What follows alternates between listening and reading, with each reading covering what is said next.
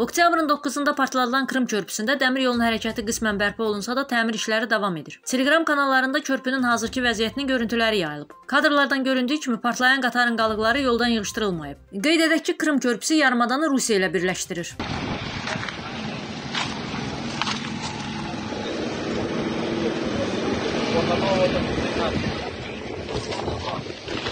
Пойдемте, давай.